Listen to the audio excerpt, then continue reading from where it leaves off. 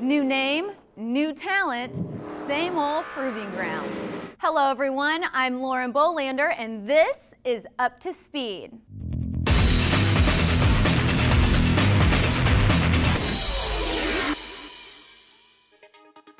The former Indy Pro Series, now the Firestone Indy Lights, continues to be the top developmental series for those aspiring to be future IndyCar drivers.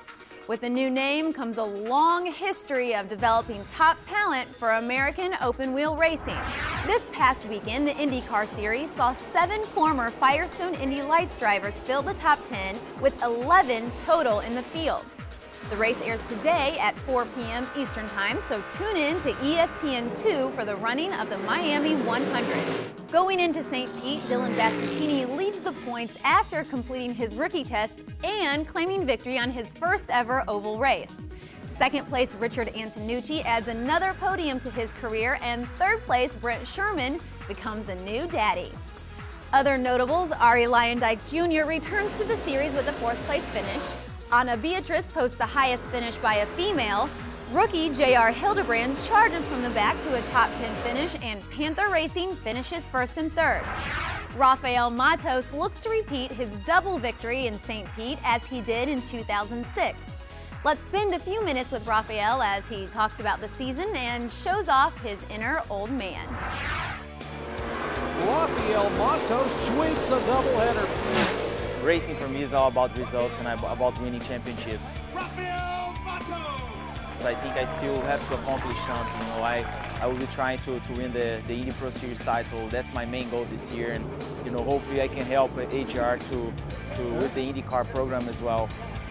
IndyCar has always been a dream. I grew up in Brazil racing go-karts and I was watching Emerson and and later on Helio Castroneves and Tony as well. So it was something that I was trying to achieve, you know, I'm, you know, trying to be in, in IndyCar one day and, and I'm getting closer every day. I believe there's a lot of options with AGR in the future and so I think if I, if I can prove myself one more time, uh, I'm gonna have the opportunity there, no doubt about it. Now I'm gonna show you guys my little toy.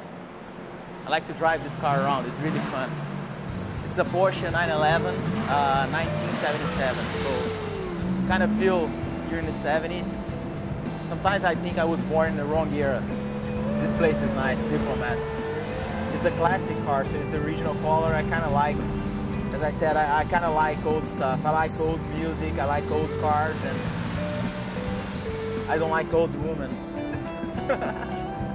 Thanks for stopping by. See you guys at the track.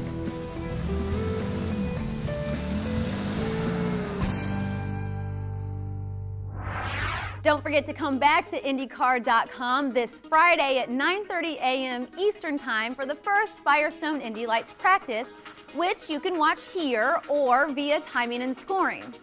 Also, be sure to text IndyCar to 23907 for video updates to your mobile phone. See you again at IndyCar.com. I'm Lauren Bolander, and you're up to speed.